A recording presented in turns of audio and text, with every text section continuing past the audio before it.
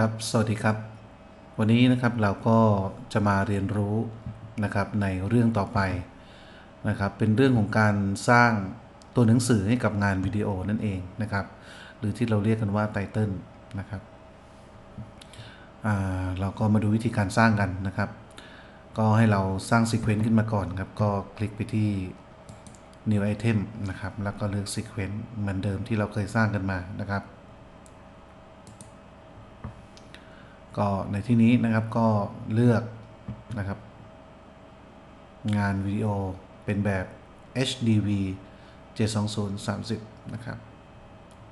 sequence นะครับ แล้วก็โอเคไปนะครับเอาละครับ คราวนี้เราก็จะได้ sequence เราขึ้นมานะครับ เดี๋ยวผมก็ย่อไทำลายมุมมองนิดนึงนะครับ ย่อให้มันเข้ามา นิดนึงนะครับ เพื่อปรับมุมมองในการทำงานนะครับครับการสร้างไตเติลนะครับหรือตัวหนังสือนั้นก็มีวิธีการสร้างดังนี้ครับ สมมุติว่าฉากหลังนี้ของผมให้เป็นเป็นสีดำก่อนแล้วกันนะครับ ก็ผมก็คลิกไปที่ new item นะครับ แล้วก็เลือกไปที่คำว่า title นะครับ คลิกเข้าไป นะครับ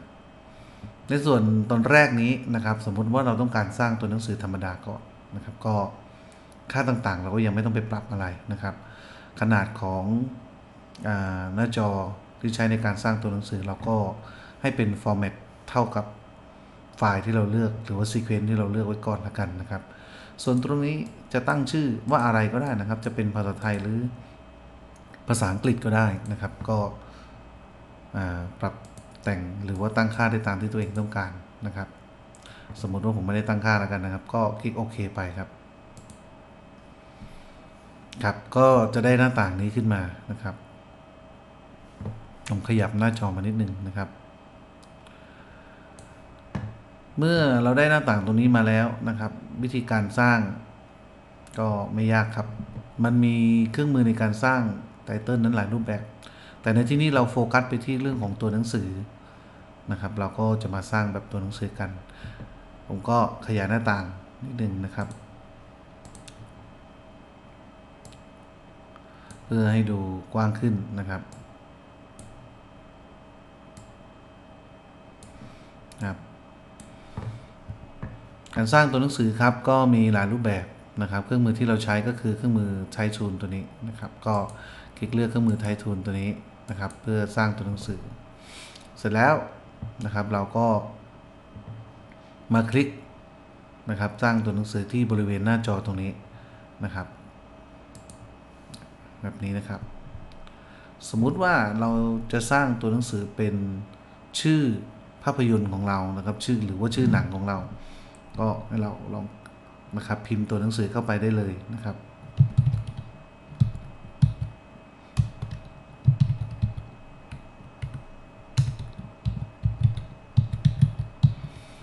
ครับประมาณนี้ครับ เมื่อเราพิมพ์ตัวหนังสือเสร็จนะครับ เราก็เปลี่ยนเครื่องมือเป็นตัว selection tool นะครับ หลังจากนั้นเราจะปรับแต่งตัวหนังสือยังไงก็ได้นะครับ แบบแรก สมมุติว่าเราต้องการปรับแต่งรูปแบบของตัวอักษรนะครับ ก็เราก็มาคลิกเลือกตัวหนังสือของเรานะครับ ด้านขวามือตรงนี้ก็ได้นะครับ หรือด้านบนนี้ก็ได้ แต่เดี๋ยวผมจะเน้นด้านขวามือเป็นหลักนะครับ ก็คลิกเลือกฟอนต์ Primary ครับตรงนี้เราต้องการให้รูปแบบตัวอักษรเราเป็นแบบใด เราก็เลือกไปนะครับนะครับมีรูปแบบตัวอักษร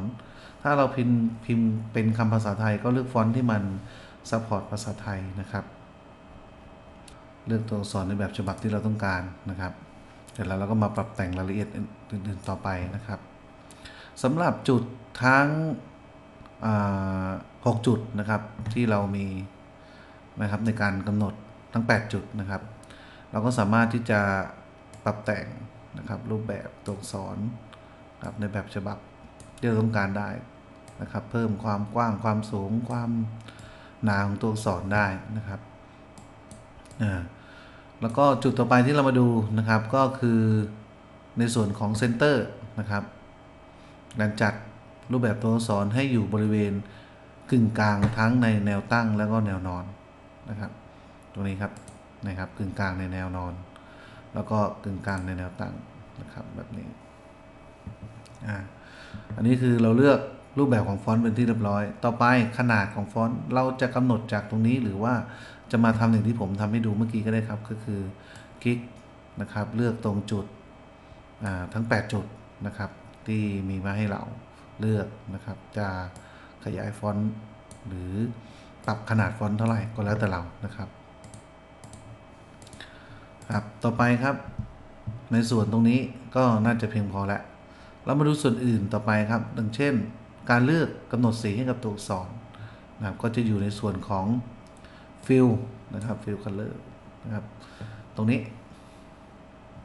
เราก็จะเลือกนะครับสีของตัวอักษรแบบไหนก็ได้นะครับ ก็คลิกที่ตรง color ตรงนี้นะครับ ก็เลือก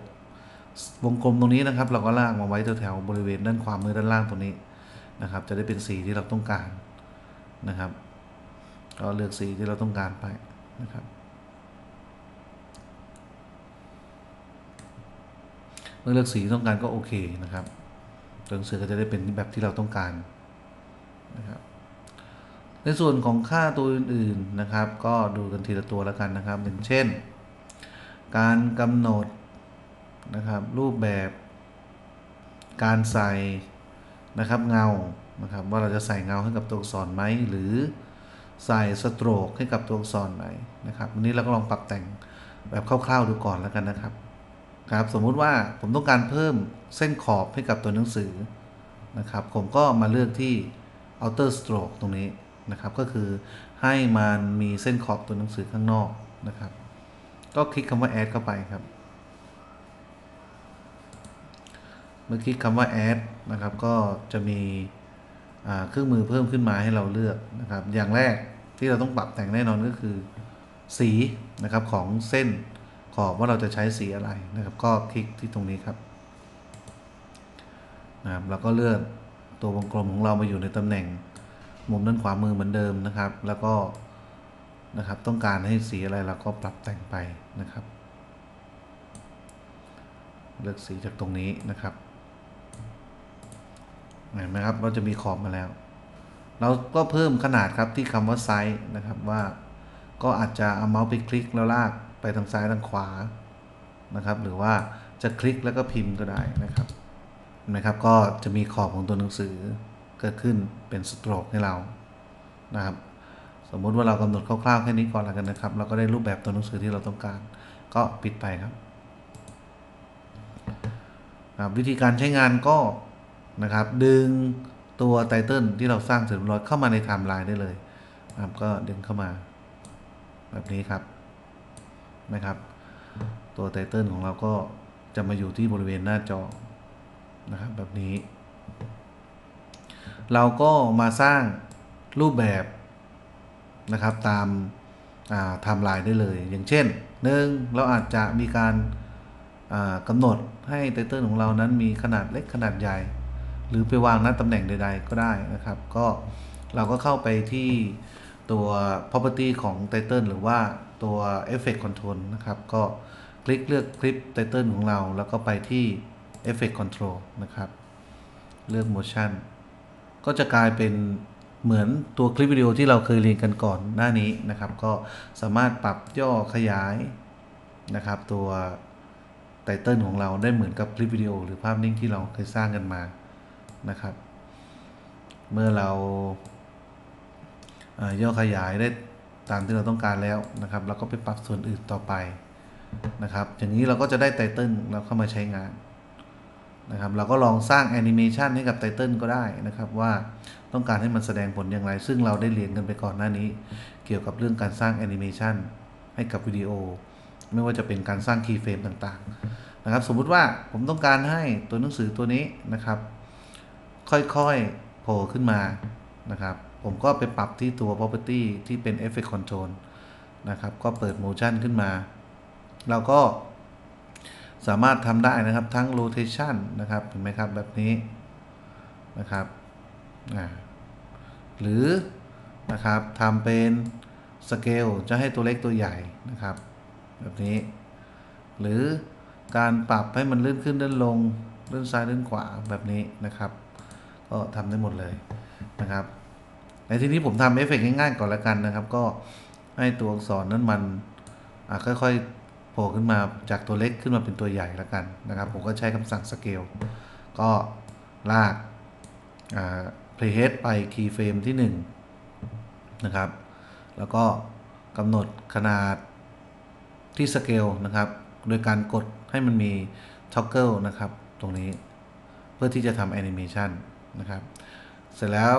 เราก็มาแก้ค่าตัวเลขตรงนี้ครับ ผมใส่ให้เป็นศูนย์ นะครับเสร็จแล้วปุ๊บเราก็มาขยับทำลายของเราจากตรงนี้หรือตรงนี้ก็มีค่าเหมือนกันนะครับ ก็ขยับ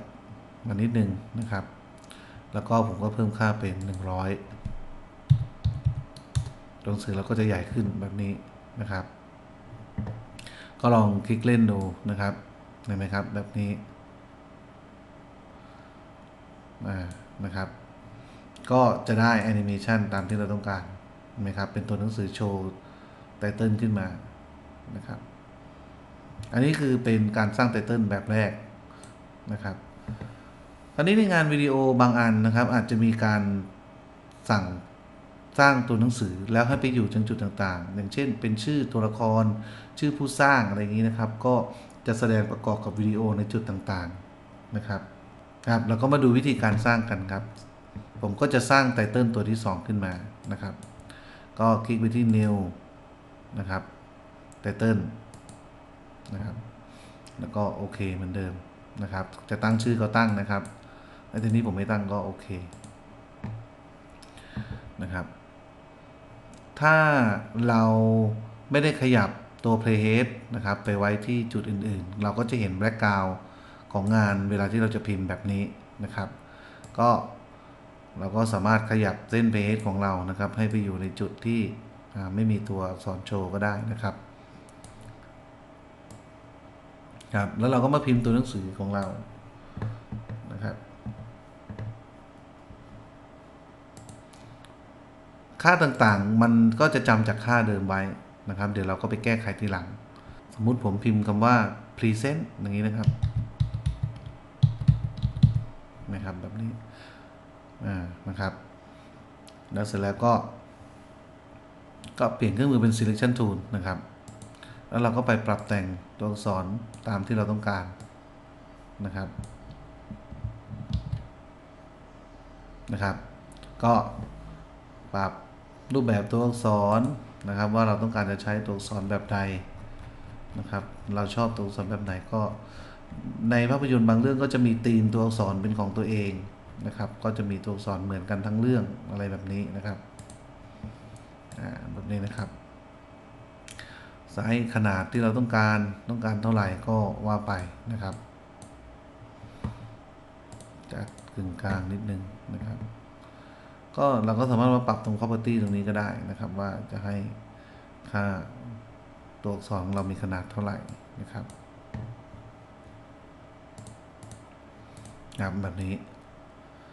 เมื่อได้เรียบร้อยนะครับ สมมุติว่าผมต้องการพิมพ์แค่นี้ครับก็ปิดไปนะครับก็ลากมาใช้เหมือนเดิมครับ มาต่อจากตัวเดิมนะครับเห็นไหมครับ พอเราโชว์ขึ้นมาปุ๊บหายไป ก็เป็นคำว่า present นะครับซึ่งคำว่า present ตัวนี้ อาจจะ ไปอยู่ในส่วนต่างๆ ก็ได้ครับ ไม่ได้เป็นต้องมาอยู่แถวๆนี้ก็ได้นะครับ ก็เราอาจจะย่อตัวหนังสือเราให้เล็กลง แล้วไปอยู่ในจุดต่างๆ อย่างนี้ก็ได้ครับ บางครั้งตัวหนังสือของเราอาจจะขึ้นตามตำแหน่งต่างๆ แล้วก็มีวิดีโอแบล็กกราวต่างๆ ก็มาเกี่ยวข้องนะครับ เราก็สามารถย้ายตัวหนังสือเราไปไว้ในตำแหน่งต่างๆ ได้ ไหมครับ แบบนี้จะไปไว้ในจุดต่างๆ ตรงไหนก็ได้นะครับนะครับเราก็ย้ายไปเพื่ออเป็นการสร้างตัวหนังสือให้อยู่ในตำแหน่งที่เราต้องการนะครับอาจจะมีภาพวิดีโอแทรกซ้อนเข้าไปตรงไหนก็ว่าไปนะครับ อันนี้ก็เป็นลักษณะของการสร้างตัวหนังสือธรรมดาที่อยู่ในช่วงของการแสดงผลวิดีโอทั่วไปนะครับ แล้วอีกเรื่องสำคัญอีกเรื่องหนึ่งเดี๋ยวผมลากไปเฮดไปในที่จุดว่างๆก่อนนะครับนั่นก็คือการทำ end credit ในตอนท้ายของภาพยนตร์ส่วนใหญ่ก็จะมีการแสดงเครดิตนะครับ ยาวเลยทีเดียว วิธีการสร้างแบบนั้นทำยังไงนะครับ เดี๋ยวเรามาดูกัน ก็คลิกไปที่ new item เหมือนเดิมนะครับ แล้วก็สร้างไตเติลครับคราวนี้เราต้องมีการตั้งตั้งค่าแน่นอนนะครับ สมมติชื่อผมไม่ตั้งตามนี้ นั่นก็คือถ้าเรามูมาพิมพ์ให้มันพอดีกับหน้าจอตัวหนังสือเราก็จะเล็กนะครับ เราก็ปรับขนาดของความกว้างและความสูง ให้พอดีกับข้อความที่เราต้องการจะแสดงนะครับว่าเราต้องการแสดงอะไรนะครับ สมมุติว่าความสูงของผมผมปรับเป็น 1,000นะครับ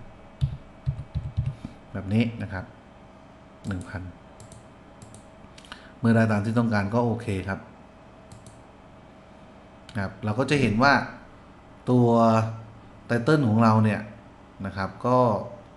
จะมีลักษณะของความสูงเพิ่มขึ้นนะครับเป็น 1,000ไหมครับ อันนี้เราต้องการจะพิมพ์อะไรลงไปในตัวไตเติลเนี่ยนะครับเป็น e n g l i s h เป็นอะไรก็จะทำให้เรามีพื้นที่ในการแสดงผลมากขึ้นนะครับเดี๋ยวในตัวนี้ผมจะลองทดลองพิมพ์ นะครับตัวหนังสือไป อาจจะเป็นการ Copy ตัวหนังสือซ้ำๆๆนะครับ เพราะว่าไม่ได้พิมพ์ไว้ครับมาดูวิธีการทำกันครับ ก็คลิกนะครับสร้างตัวหนังสือนะครับ ครับก็พิมพ์เข้าไปนะครับนะครับ เดี๋ยวผมขอเปลี่ยนรูปแบบตัวอักษรเลยแล้วกันนะครับ จะได้ปรับได้ถูกต้องนะครับ ก็เลือกรูปแบบตัวอักษรที่เราต้องการนะครับในที่นี้ผมก็เลือกเป็นธีมเดียวกันนะครับทั้งเรื่อง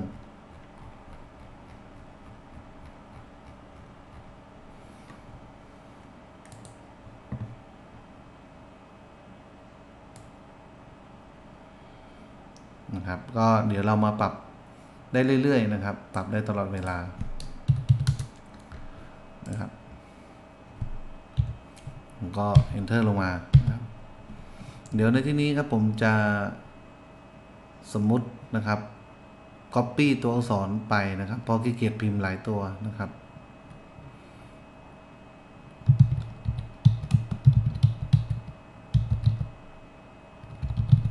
นะครับแบบนี้ แล้วก็ผมจัดรูปแบบให้มันอยู่กึ่งกลางนะครับ ให้มันอยู่กึ่งกลาง ก็จะได้แบบนี้ครับ ส่วนคำนี้ผมก็จะให้ขนาดมันเล็กลง นิดหนึ่งแบบนี้ครับนี่นะครับ ผมก็จะทำการ Copy นะครับก็ Enter นะครับ วางไปเรื่อยๆครับ นะครับ Enter แล้วก็วาง Enter แล้วก็วางไปเรื่อยๆนะครับ สมมติตรงนี้ผมใส่แค่นี้นะครับและชื่ออื่นๆผมก็ใส่ไปนะครับ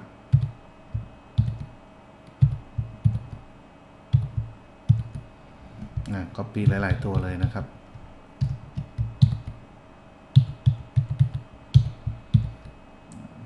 นี่นะครับ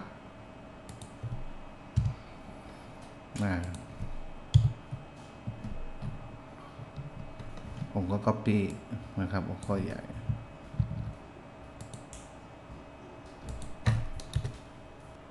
แล้วก็วางเลยนะครับนะครับ เดี๋ยวผม copy ตัวนี้อีกทั้งชุดเลยครับนะครับจะเพื่อที่จะลองทำนะครับให้เห็นนะครับโอเคครับ เอาแค่นี้ก่อนละกันนะครับ เมื่อได้แบบนี้แล้วนะครับ ผมก็เปลี่ยนเครื่องมือเป็น selection tool นะครับ แล้วก็มาลากปักนะครับ รูปแบบของอการจัด layout นะครับนะครับ เราก็จะได้ เครดิตของเรามาเป็นที่เรียบร้อยนะครับ แบบนี้ อันนี้เป็นการสมมุติเป็น end credit นะครับ เพราะว่าผม copy มาอ่าเมื่อเราได้นะครับรูปแบบของงานเราแบบนี้แล้วนะครับนะฮะเราก็ปิดเลยครับ อันนี้เราก็เอามาใส่ในส่วนของท้ายเรื่องเรานะครับ ก็คลิกค้างไว้ลากมานะครับ ต่อ นะครับ ก็จะเป็นลักษณะแบบนี้นะเราจะให้มันยาวกี่นาทีก็ลากไปนะครับให้มันยาวกี่นาทีก็ลากไป แล้วเสร็จแล้วนะครับ เราก็มาสร้างแอนิเมชันให้กับเครดิตที่เราสร้างขึ้น ก็คลิกเลือกคลิปนะครับ ลากตัว playhead อ่ามาไว้ตอนต้นๆคลิปแบบนี้นะครับ แล้วก็คลิกเลือกคลิปไตเติลของเรานะครับ จากนั้นครับเราก็ต้องมาปรับค่านะครับในแอนิเมชันซึ่งในที่นี้ก็คือการปรับค่าแกน y นั่นเองเห็นไหมครับ ตัวหนังสือเราก็จะวิ่งขึ้นวิ่งลงแบบนี้นะครับในที่นี้ผมปรับให้ตัวหนังสือมันวิ่งขึ้นมานะครับ ผมก็เอาตัวหนังสือไปซ่อนไว้ข้างล่างก่อนนะครับเอาตัวหนังสือไปซ่อนไว้ข้างล่างนะครับแบบนี้นะครับเมื่อซ่อนไว้ข้างล่างเสร็จเรียบร้อยนะครับ ผมก็ ได้ตำแหน่งที่ต้องการแล้ว ผมก็ไปคลิก toggle ครับ นี่คือจุดเริ่มต้น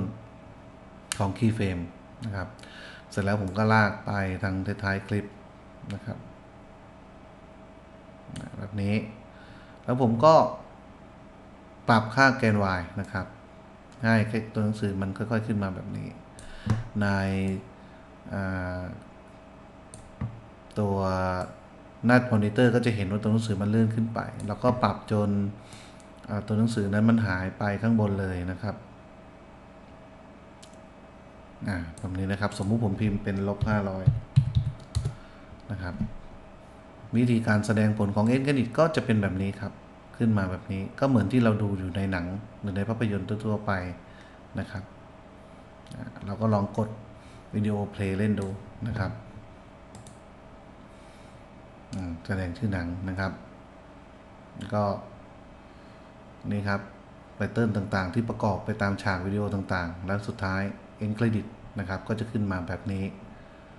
ครับนี่คือการสร้าง title นะครับในการทำงานวิดีโอ แล้วก็เอาไปประกอบในส่วนต่างๆของงานวิดีโอนะครับ เพื่อที่จะ